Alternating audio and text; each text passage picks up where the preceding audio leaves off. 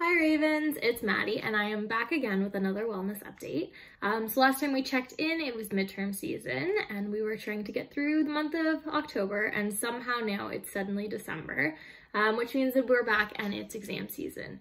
Um, so much like midterm season, it's a very busy time of the year, but it's also that point in the year where it's really only the two weeks keeping you from um, the winter holiday break, which is hard to find motivation sometimes to get through.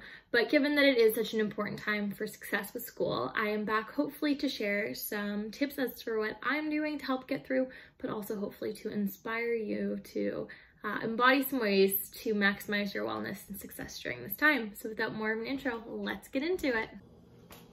So hey there, we are in the kitchen, um, and I guess we're gonna have a bit of like an MTV Cribs moment where I'm going to show you what I have in my fridge. Um, and I'm really just showing you this because nutrition is so important to um, fueling your brain and making sure that you are um, taking all the steps to really take care of you because health is such a full body thing, um, especially during seasons of high stress and when you are using your brain a lot. Um, but I'm not a fan of meal prepping on the basis that I just don't like eating the same food um, multiple days in a row, but I have kind of found a strategy that helps cut down on some of the kitchen time but also um, helps to ensure that I'm either eating or that when I do eat that I'm making healthier choices and not leaning towards fast food, um, which sometimes becomes the easiest and most convenient option, but is also more expensive and less nutritional. Um, I will warn you that I did not prepare like you might in cribs. I have not cleaned my fridge out, but I will show you what's in it. So here is the big reveal and you will see that I have lots of containers here and in them I have some fresh cuts fruits and vegetables um, and things that are just easy to go so that when I don't super feel like spending lots of time cooking or getting a snack ready, there are easy and nutritional things on hand that require very little effort but ensure that I'm still eating properly and fueling my brain and my body. So you'll see here that I just have some pineapple, some lettuce that's cleaned and cut, um, some pomegranates, some cut up sweet potatoes, there's some cut rice, there's cut fruits and veggies in there just for veggies with dip. And these just provide me um, either the opportunity to make a really quick meal that is nice and incorporates all of the food groups um, or pick a healthier snack than leaning towards something um, that's prepackaged but maybe not as nutritionally rich. Another really important tip for maintaining your wellness is making sure that you're giving yourself breaks as much as school is a big priority right now, um, and obviously there's a lot of focus that needs to go into your studies and preparing for finals and take-homes and whatever other responsibilities you may have at this time, um, it's really easy to get burnt out. And once you're burnt out, especially this time of year, it's really hard to recover. So making sure that you're taking little breaks to um, just make sure that you're doing things for you um, that are separate from school and kind of just help you to recharge and refresh as you kind of shift your brain back to doing something academic or school related. Um, so given that it's the holiday season and I always um, feel a little conflicted about it being, um, you know, the holidays, but also a time that's really busy with school and studying, um, I decided to take a break and decorate this little gingerbread house. Um, it was an inexpensive way to kind of do something creative with my hands, um, kind of shut my brain off at school for a little bit um, and practice um, a little self-care because it just got me a little more in the holiday season than I was when I started. So another tip that I have actually has to do with your bed. So um, we're here in my room. I'm really giving you the full behind the scenes tour of this vlog. Um, but I am a terrible room studier um, in any situation.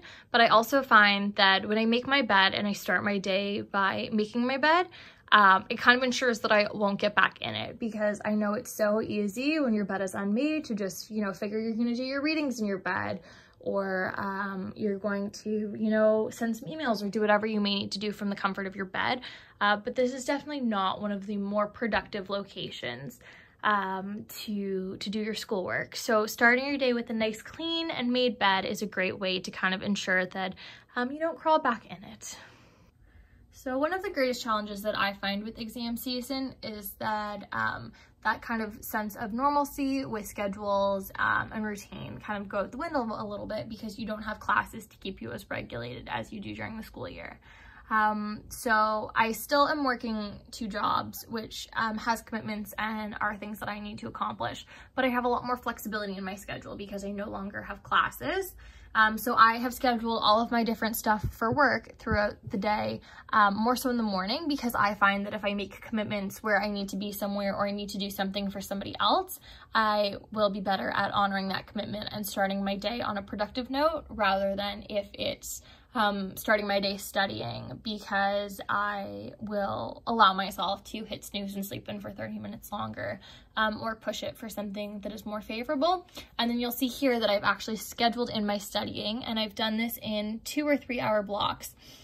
Um, on the basis that I tend to be more productive in the evening. So these are better times for me to study. Um, there's less distraction I find. And then I've also broken it down into um, what I'm planning to cover in each of those three hour blocks. Um, just ensuring that I've covered all of the course content and that I'm putting myself in a good position. Um, I've also included here some of the review sessions that my TA is very nicely um, hosting, just because I think that a big part of getting through exam season two is really making sure that you're making use of the resources and the things that are available to kind of help you be um, as successful as possible. And then you'll also see in here too that I have scheduled in some time for fun. So I am allowing myself to um, have dinner at a friend's house um, to kind of take a break from studying. And I'm getting a massage because that makes me feel good and that is important to me. So another thing that I just wanted to show you is an app that I use um, called Self Control for when I need to use devices like my laptop to um, complete my schoolwork, but I get very easily distracted. I will say that I am terrible at telling myself that I'm going to watch one funny YouTube video or, you know, just look at one quick thing and then suddenly it's an hour later and I'm down some dark rabbit hole and I have not accomplished what I intended to accomplish and then I'm just stressed and overwhelmed and still have a to-do list. Um, so this is really great um, because it lets you access uh, devices that you have allowed. And then once you set a timer, you um, can't actually get into the website or the app that you have told yourself you can't use. Um, so I will warn you that once that timer is set, you can't get out of it. So be very mindful with the timelines that you set and how realistic you're being. Um, but it's really great if you need a little bit of help because you cannot um, manage your time as effectively on your own um, as you wish you would, which some of us suffer from, like myself. So another thing um, that in terms of all of my wellness, but especially with exams, um, is something that I, or I struggle with is um, having my phone. I use my phone far too frequently. I'm way too reliant on my phone. Um, and it does distract from my studies and I recognize that. So I'm trying to be more proactive um, both during this exam season, but also in my life as a whole, at kind of stepping away from devices and being a little less reliant on my phone. Um, and so one of the ways that I'm doing that is with Apple tracking my screen time. Um, I have set it up so that features like Instagram, I only allow myself um, a limited amount of time on um, every day. And that kind of helps to um, keep myself off of those apps that are very good for wasting time, um, but not so great for productivity. Um, and so I also then try to tell myself that I don't need to allow um, another minute or swipe away that notification, um, which is a separate thing, but it's something that I'm working on.